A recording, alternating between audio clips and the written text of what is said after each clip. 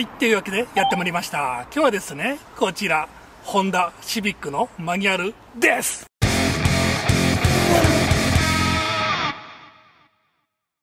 はいはいはいはい、今日もやってまいりました。えー今日はですね、えーホンダカーズ大阪東花園店さんで車をお借りしてレビューしようと思います。えー早速外装の方を見てみましょう。えーシビックのね、えーハッチバックということで、えー今回お借りしたのはマニュアル車ですね今ね、えー横にタイプ R が、えー置いてあるんですがパッと見ねほとんど一緒なんですよね。ただねあのボディサイズがだいぶ違います。こちらのね、えーシビックハッチバックはえー前幅の方がね、え 1800mm であの奥のタイプ R は 1875mm ですね、え 75mm もね、えワイドが違うということなんですね。いやなかなか黒光りしてますよね。マフラーがね、えセンター出しで、え2本出しになってるんですね。ちなみにこの左下の、ダクトはダミーダクトですね。穴は開いておりません。ちなみにこちらタイプ R いやいかついわ。ちょっとやりすぎ感ありますよね。それに比べハッチバックタイプはまあまあまあおとなしいというかいやまあ十分派手なんですけどね。タイプ R に比べるとだいぶおとなしいデザインですね。結構ねこの辺もね掘り込んであるんですよ。ここねほらポコッとこれぐらい掘り込んでます。すごいね結構造形的に作られてるんですね。ちなみにねえシビックタイプ R はえ3本出しですね。えこの真ん中はね低速度機でもねいい音出せるえマフラーということで3本になってるみたいですね。音のために1本作られてると。で、リアビングもね、え結構このボディからデザインされたこのプレスライン、えそれがね、そのまま続いて、えー自然にね、えレイアウトされてる感じですね。で、このシビックのね、C みたいな デザインのテールランプから、えそのまま続いてリアウィングにね、なってるという感じですね。まあ空気抵抗もね、よく考えられてる感じですね。ミラーはね、結構細長いデザインなんですね。でも正面から見るとね、え結構スクエアなデザインです。えちなみに、えータイヤの方はグッドイヤーを履いてますね。18インチですね。結構ね、このフェンダー、これがね、盛り上がってるんですよね。このプレスラインがね、本当に綺麗だと思いますね。えではね、え内装の方を見てみましょう。では、お邪魔しますと。内装の方はね、こんな感じです。いや、新車の匂いがします。シートの方はね、え布張りなんですけど、えー全部ね、室内は真っ黒で統一されてますね。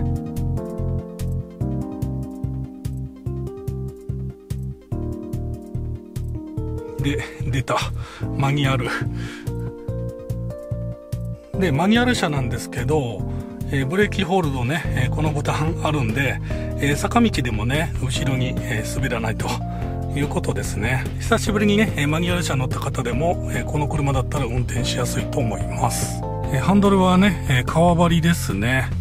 で、えホンダセンシングということで、あの、マニュアル車なんですけどね、追尾システムとか、えっ、とね、この車線をね、感知してハンドルがククッと曲がる、えーそんな機能もね、いろいろついてるんですね。でもマニュアル車で、えー追尾システムってどんな感じなんでしょうね。シフトダウンは勝手にしないんでね、その辺は自分でしないとダメなんですかね。質感はね、えーこの辺はちょっとクッション性のある、これソフトタッチな感じですね。ドア周りもね、シンプルに黒で、えー統一されてますね。屋根もね、真っ黒なんですよね。え今ね、運転席に乗った感じ、えこんな感じです。やっぱりね、乗ったらね、広いんだなと感じましたね。上も余裕があります。前にね、小さいスピーカーあります。音も良さそうですよね。ちょっと後部座席乗ります。ほうほう、お邪魔します。後部座席ね、こんな感じです。あ、ゆとり、ゆとりやっぱあります。あの、十分ね、私ね、ちょっと身長がね、高いんで、あの、1830ミリほどあります。なので、ちょっと狭く感じるんですけど、これあの、普通のね、あの、身長の方だったら、十分広いですね。私、これ手のひらね、2枚ぐらい今天井入ってます。普通の方だったら拳1個は十分入ると思います。座高が高いんでね。でドライブポジションで、えー、足元が拳1個2個ぐらい入りますねこうドアノブとかもね黒いんですよねで、えー、小さいスピーカー これいいですねで、シビックはね、あの FF 車なんですけど、まあフロントにエンジンがあってフロント駆動ということなんですけど、あの、ここにね、ほら、ボコッとね、なってますよね。あの、FR 車にね、多いですよね。こ、こがね、ボコッとね、なってるの。あの、なぜかと言いますと、え、さっき見たね、マフラーが、マフラーとか排気口がここに入ってまして、ボディ合成のためにね、えー、こういう形になってるということらしいですね。真ん中の方はちょっと狭いと思うんですけど、えー、一応5人乗りになっております、え、ちなみにね、え、シビックタイプ R の方は、え4人乗りなんですよね。わ内装豪華。ヘッドレストが後部座席2つしかないですよね。なので、えタイプ R は4人乗りと。で、えシビックハッチバックは、え5人乗りということですね。わあタイプ R 豪華赤い内装ですねトランクの方はね、えー、十分な、十分な広さですね。結構広いですね。で、これね、えっ、ー、と、トノカバーでしたっけあの、横からね、えスライドして、えー、防犯になるということですね。これ結構ペラペラです。あ、でもこれいいね、これ。ありそうでなかった。横からのっていう感じで。いやー、やっぱハッチバックってね、えー、後ろ結構広いんですね。ちょっとね、えー、ボンネットを開けてみました。おほほほ、ホンダらしい、ホンダらしいごちゃごちゃしたデザイン。結構ね、あの、カバーしてエンジンが見えないメーカーもありますけど、ホンダはね、結構ダイレクトに見えますよね。直列4気筒 VTEC ターボエンジンですね。えー、直噴ターボということで、えー、ハッチバックタイプはね、えー、1.5リッターなんですね。えー、最高出力は、えー、182馬力。えー、最大トルクは240ニュートンメーターですね。えー、ちなみに JC08 モード燃費は17.4キロパーリッターです。ちなみにね、えー、ハッチバックタイプと、この、えー、シビックタイプ R は、えー、イギリスのね、えスウィンドン工場で作られております。まあ、その工場もね、もうすぐ閉鎖ということで、日本車のようで日本車じゃないみたいな感じで、えちょっとその辺もね、マニア心くすぐりますよね。で、シビックタイプ R はね、450万円します。で、この8バックは、え280万円と。いや、だいぶね、値段の差がありますよね。まあ、両方ともね、えー、同じマニュアル車ということで、いずれもね、えー、個性は違うと思うんですけども、楽しめそうな車ですよね。ではね、えー、早速、市場の方行ってみようと思います。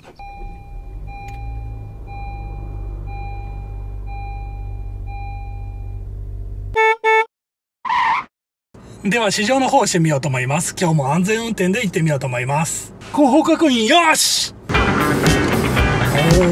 ほほほほほ。いやマニュアル、久しぶりですね。今ね、えー、初めて、えー、このシビックのマニュアル車乗ってみたんですけど、あのー、初めてというか、久しぶりにマニュアル車乗る人でも、なんかね、これ、クラッチのつながりがね、結構ソフトなんですよね。おおああいいかもしれない。これ1.5リッターよね。まあ VTEC エンジンということでね、えー、燃費の方も考えてはいると思うんですけどあこれ結構結構ターボ効きます。え今ねこれ前走ってるのは、えー、シビックタイプ R ですね、え、今日はねこの2台で、えー、シギイコマスカイラインの方へ、え、行こうと思います。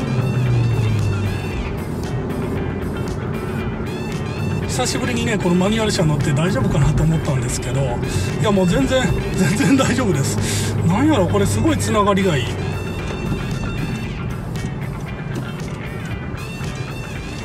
なんかねソフトなんですよ。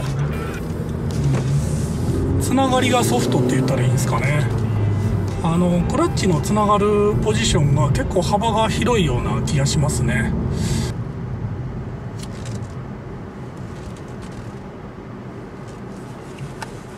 信号待ちでね、え今アイドリングストップしました。こうなるとね、なんかエンジン止まっちゃったなと。マニュアル車運転してたらね、エンストしちゃったんかなと 思う感じですよね。まあ、だから今エンストしてないんでね、ちゃんと大丈夫です。今、ちゃんとエンジンかかりました。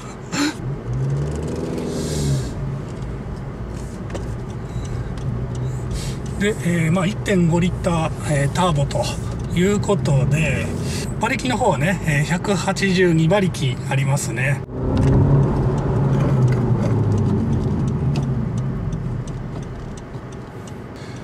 いやこうねなんか意外とねこう街中でもいやこのマニュアル車だったら乗りやすいかな。まああのシビックタイプ R とね、えー、つい比べてしまうんですけどもあの結構ねやっぱシビックタイプ R はあのー、やっぱ走るんですよ。馬力も全然違うくてね。足回りも結構違うくて、まあ、タイヤのねサイズも あの結構パツパツでね乗り味の方はね決していいとは言えないんですけども。それに対してねこのハッチバックのマニュアル車はいや多分ねものすごいね それに比べるとすごいあの普通に乗れるというかまあ乗りやすいんだなと。それでいてね、えー、踏むと、えー、結構走るんだなというね今第一印象ですね。まあねあの1.5リッターなんですけど今のところそのパワー不足を全く感じないですね、えー、車両重量はね、え 1320kg ということで、まあ、その重みを感じないね、えー、加速をしますよね。でそれでいて、えー、燃費が JC08 モード 17.4kg パーリッターということですね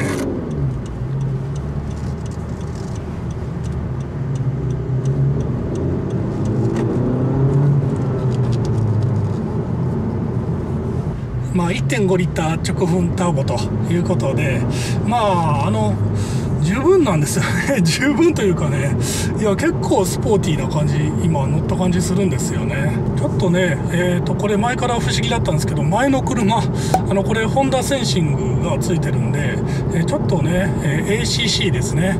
あの前の車をちょっと追尾しながら走ってみようと思います。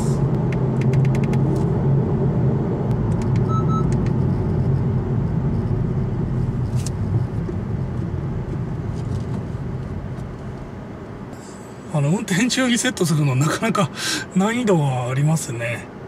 えっ、ー、と、高速道路とかね、えっ、ー、と、一定の、ある程度の、まあ、あの、こういう信号とかがないところで、まあ、役立つ感じですかね。